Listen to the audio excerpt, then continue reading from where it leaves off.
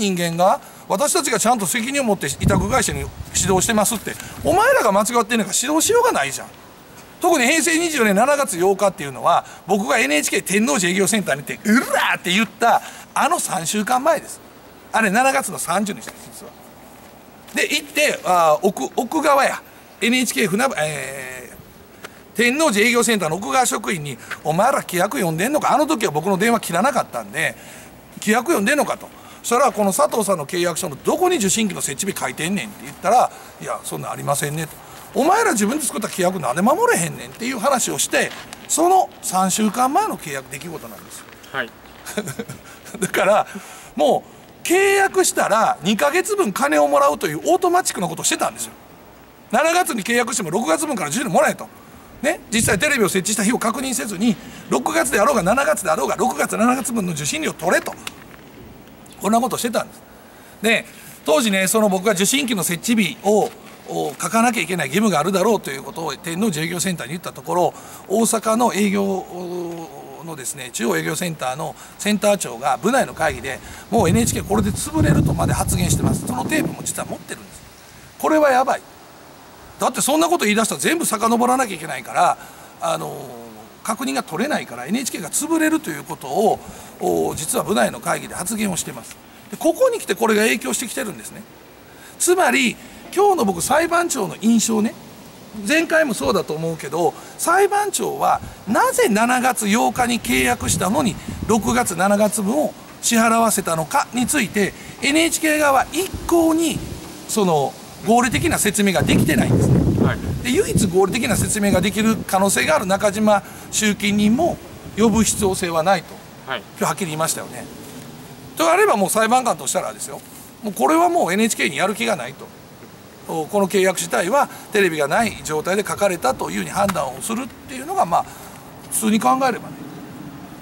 だと思いますがただまあ裁判所のことなんでもうわけわからんことしてくる可能性はあるので、えー、勝っても負けてもあとは YouTube でガンガン言いますしあのもしこれね勝ちはニュースでして負けたらもうしっかり国会でね、はい、やりましょう。その国会に中島を読んだらいいんですよ。はい、いやそうでしょ？国会でさ読めばいいんですよ。でそれを反対するような国会議員は名指しでね NHK の集金の中島を呼ぶことを反対する。だって大事件でしょこれ、うん、大事件です。大事件でしょ？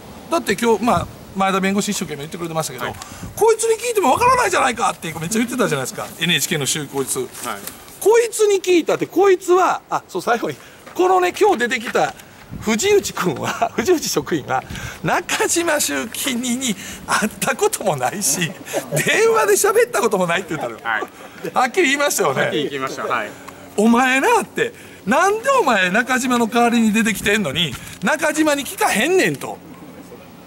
中島がね F さんと20平成24年7月の8日にどんな契約をしたのかをね中島集金人に電話なり面談しろ言ったら会ったこともないし喋ったこともないって言うんですよ。これ聞いた時どう思いました？ちなみに。えっ、と何なんだろうな何なんだろうだよね。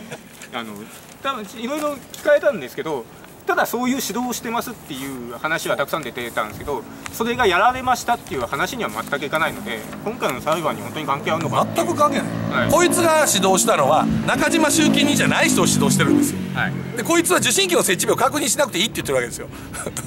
そういうやつが全然もうね笑える話です。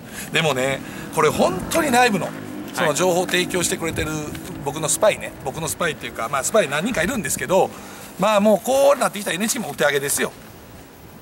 今までは名字しか分からなかった呼べなかったんですよ、うん、担当のとこにね、はい、中島しか置いてないから。でもね調べたら中島なんかちょっと漢字の読み方分からないですけど多分高一だと思いますわ、はい、で住んでるのが、えー、マンション行ったろうかな。あここや。あのー、江東区。江東区です。江東区のまあちょっと団地かマンションか分からないけど集合住宅あそこ突撃取材したろうかなちょっと誰か言ってくれ。いやでももうこれだって重要な人物なんであのー、あのとにかくね中島集金にあとチャンスですよ。これねあの出てきてほんまのこと言ったら NHK 辞める代わりにうちの党でも今の給料の2倍上げるからおいで。いや本当にね NHK の下請け会社であなたが本当のこと言ってくれたら大きくこの国が変わるからお金で解決できるんだったらお金払ってあげるから出ておいで。中島君面白いよ。だって今のこのまま NHK の集金にやってね。いずれこのまま君が中島君が黙ってたらえらい目に遭うよ。家族生きていけるかどうかわからないぐらいえらいいじめとかに遭うかもわからないよ。だって自分があなたが人を騙してやった契約で他にもいっぱい人が迷惑してるんでしょ。多分 F さんだけじゃないと思いますよ。そんなんね。そうですね。はい。そうでしょ。そしたら懺悔の意味も込めて出てこないとね。これもう名前もやさも分かってるわけだからあのーまああんまり脅しても悪いけどあの脅しときます。以上です。えっ、となんかありますか？他あのあそうそうね傍聴今日16席全部埋まりましてもう今取ってくれてる牧原君も入れなかったんですよね。なんか傍聴された方何かありますか？どうぞなんかご意見とか、はい。どうぞはい。なんかよくあの藤井内さんがめちゃくちゃ研修してますって言ったじゃないですか。あのあ NHK 職員ね。上司とかの命令聞いたりとかはい。言って、でもその放送法を守ってるで受信規約もそう教えてるよっていう研修でって言ってたんだけどその契約じゃないですか。契約に大切なのって意思表示じゃないですか、あはい。民法大事なの教えてないんだなっていう。わかりました。はい。それですね、ななんか他にありますか？あのちょっといい？どうぞ。あのどうしてね NHK まあ契約書っつったら先ほど言ったように甲通二通で言ってるんですよね、はい。私もはい。フジゼロックスでレンタルの契はい約ばっかりやってましたから、はいこれなんであの何をもとに NHK は1枚だけでああまあこれは別に契約自体はコーツの印鑑がいるとかってことはないので。いや2通いるでしょ。いやいや別にそれは法律上は決まってないで。YouTube 見てると。いやいやごめんなさい。それはごめんなさい。へ明確に言っておきます。契約書2通作る必要性はありませんので。ない。はい。構わないです。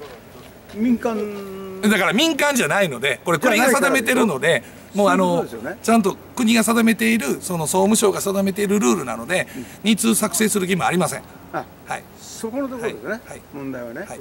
まあ問題かどうか分かりませんけどそれはそういううあのルールはありません、はい。そもそも契約自体が2通作らなきゃいけないっていうのも法律上ないのでね、だから契約書にいちいち2通を作ってお互いコーツ持ちますって書いてるだけであって、あれは法律上の根拠は何もないですからね、はい、契約というのは口頭でも成立しますから。だからあの YouTube 見せても解約のねあなたが来たという解約のなんか名刺を置いてけとかよくやってましたよね。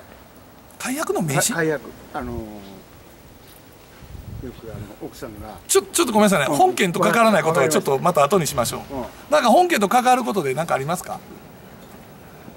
ねでも16人も後ろにいたので、はい。心強かったでしょ僕はあの初めましての人だから。初めてました。ねあのこんなに入るのも知らないし あーそね。どこの誰かわからないので。でも集金人があの集金者 NHK の職員がいらんこと言ったら「うー」みたいな「ええー」みたいな。ね。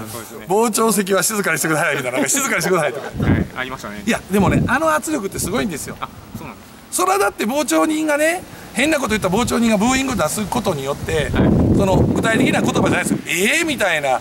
そのだって人間え？ー、って驚いた時え？ー、って言うじゃないですか、はい。それはまさに普通の感覚で裁判長もそれを聞いてるわけですよ、はい。それはおかしいよなって。っていうことをそのまさに傍聴席からねこれもうまさに国民主権ですからだから、あの傍聴できるようになってるわけですよ。はい。だから多くの人がこれ問題があると思って16席埋まって16席以上の人が来てるけども、はい。もう入れませんと。でも16席は全部もう F さんの支援者が埋,、ま、埋め尽くしたとはい。いうことでまあ向こうのねあの秀く秀桜子ちゃん最初めっちゃ声震えてた。分かった？分からなかった？もうめっちゃ声震えてたもん。でまあねヒデさんもちょっと NHK やめてうちの党に来たらと思いますよ。もう連敗。あの子がやったら全部裁判負けてる。こ今年5連敗。でこの間もホテルのやつに来たからこれであこれ6連勝かなまた今日も来たから、はいい、やもうねもうヒデさん来てくれたらもうなんかあんまりそういうジンクスっていうか僕法則信じないんですけど、はい。まあ、ヒデさんが急に入ってきたんですよまた今日、はい。今日急に来たんですよヒデ桜子さんが、でうちの前田弁護士に「本件と関係ないじゃないですか」ってこの人がかんこの人が体験した事実じゃないんだから、はい。それは意見をの意見を聞いてるんであって尋問ではありませんとか言って前田先生がガーン言うたらもうヒデさんここは「じゃじゃあ質問変えます」みたいな。あの,、まあ、あの前田先生東大法学部ですからはいあのちょっと格が違う。ちょっとヒデさんがどこを出てるか知りませんけど 前田弁護士めっちゃキレてたもんね、もういい加減にせえよみたいな。この人に聞いても仕方ないじゃないですかとかって。言ってましたけどね、言ってましたよね、まあああいうのもぜひね本当は YouTube で皆さんにご覧いただければいいと思うんですけどまたね、えー面白い裁判あったら皆さんに傍聴を呼びかけますのでぜひお越しください。ということで7月17日ね、はい。えーちょっと選挙なんですが大事なあれなんで僕もちょっと傍聴にっていうか来て、えーもう勝訴みたいなのが書いてやったろうかなと。選挙中なんでね選挙4日前なので、はい。ぜひやったらいいと思いますので。はい。はいじゃあ今日皆さんありがとうございました。皆さんもありがとうございました。どうもありがとうございました。以上です、えー裁判に勝ってそして参議院選挙に勝って NHK をべっかわす